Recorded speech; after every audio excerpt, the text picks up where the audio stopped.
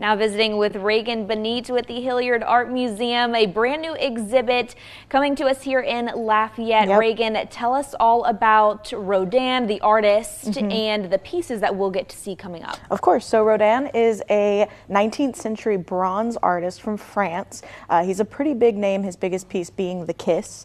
Um, and on Friday, this Friday, October 25th, which is crazy, we've been planning this for so long. So this Friday, October 25th at 9 a.m., you can come and see the exhibit.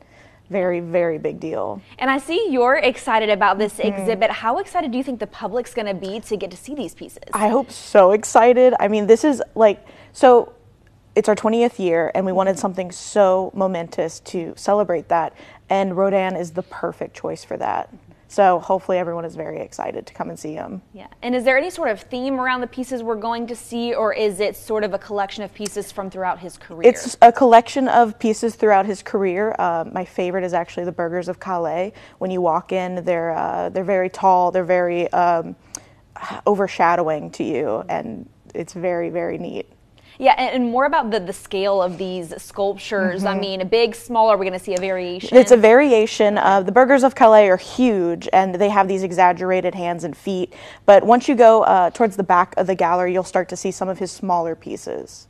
Yeah, and these have they arrived yet? I know yes. they're not on display yet, but they've arrived. They're arrived. Everything is in place. We do have our gala tomorrow, or sorry, Thursday night.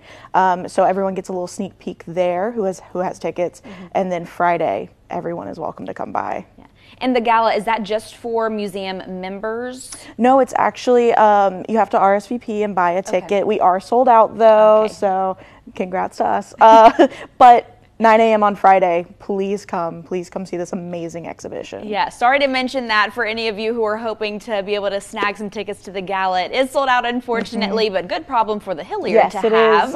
um, but we can see it very soon mm-hmm. afterwards. That's going to be available for us on Friday, and it's going to be up for a pretty long time, I yep, think. up till April 2025. Oh, wow. Yeah, okay, so you have so, some time. Yeah, yep. several months, and uh, definitely going to need it. Some people, I'm sure, are going to be visiting multiple times. Oh, yes, definitely. Does that usually happen? Yes, definitely, especially with something as big as this. I yeah. mean, the, it, people come back just to see it again and again because they feel like they've missed something. Yeah, Rodin, um, August is his first name. Uh-huh. Is that correct? Yes, August, August Rodin, a French sculptor. If you would like to see those sculptures that the Hilliard Art Museum has been able to bring to us here in Acadiana, that will be open, that exhibit on October 25th through April of next year. You can visit their website as well to learn more.